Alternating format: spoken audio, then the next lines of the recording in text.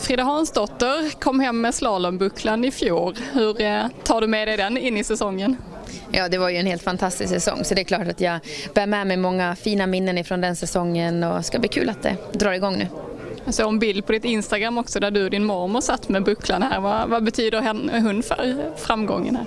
Ja, men mormor betyder ju mycket. Det är ju hela familjen hemma med, ja, med vänner och släktingar. Men att ha ett sånt fantastiskt stöd hemifrån, det betyder otroligt mycket.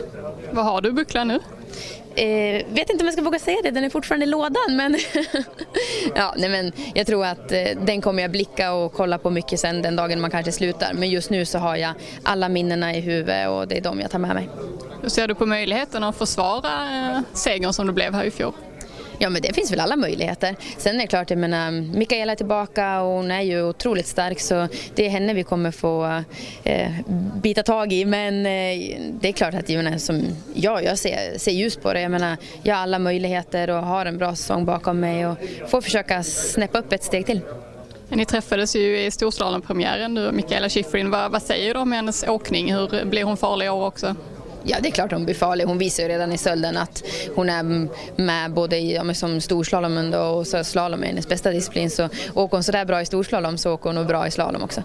Vad har du gjort för att höja dig ytterligare och ta matchen med henne den här säsongen?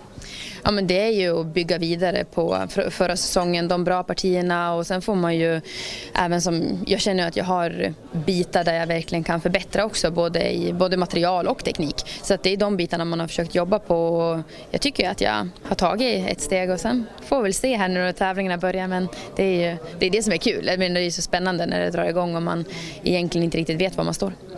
Du har tittat lite på material och så. Jag läste någonting om att ni hade mixat med någon vibrationsdämpande stång på skidorna. du får berätta, vad, vad är det? Ja, men det är storslalomen. Ehm, det tycker jag är väldigt intressant. Eh, de har kommit med en eh, stång som sitter på skidan då för att det ska bli mer stabilt och att man ska få mindre vibration i skidan. Och det har ju varit väldigt intressant och jag tycker att de skidorna funkar väldigt bra. Är det Mikaela Shiffrin man tittar på hennes åkning för att bli bättre eller är det andra som man försöker efterlikna eller ta detaljer ifrån för att eh, komma ytterligare en nivå? Jag, jag kan ju inte riktigt kolla på Mikaela för det är Mikaela jag vill slå men jag tycker att det är väldigt bra att kolla vad Mikaela gör. Jag menar, hon är så otroligt mycket snabbare än oss tjejer även fast menar, bakom henne så är, är det vi som är bäst i världen men hon slår oss med hästlängder. Så måste man ju kolla vad gör hon. Men sen så får man ju även kolla på som Hirische Kristoffersen för eh, jag, jag, ska ju slå Mikaela. Då kan jag inte kolla och försöka härma vad hon gör utan eh, ta med det hon gör och så försöka ett steg till. Är det något från till exempel Hirscher Kristofferssons åkning som du har snappat upp och försökt eh, efterlikna? Ja, men jag mm, tycker att med min åkning, jag har en otroligt hög lägstanivå, åker ofta ganska tuff linje men mm, använder kanske inte skidan så mycket som man kan med carvingen. Så, så jag har försökt att eh, ska karva lite mer, få lite mer flyt och få lite mer den här ekonomiska åkningen. Eh, och det hoppas jag ska ge mig lite extra fart.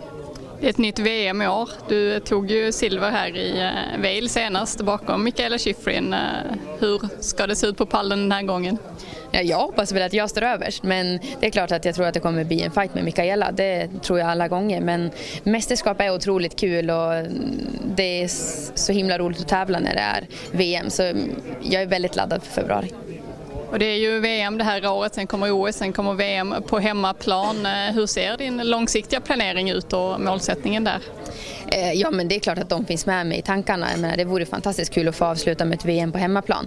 Eh, sen som jag sagt förut så tar jag nog år för år, för år så att jag menar, med motivation, känna att man har mer att ge, att man är uppe i toppen och fightas och att mm, man känner att mm, man har möjlighet, möjligheterna så. Då kommer jag absolut fortsätta till 2019. Men sen får vi se.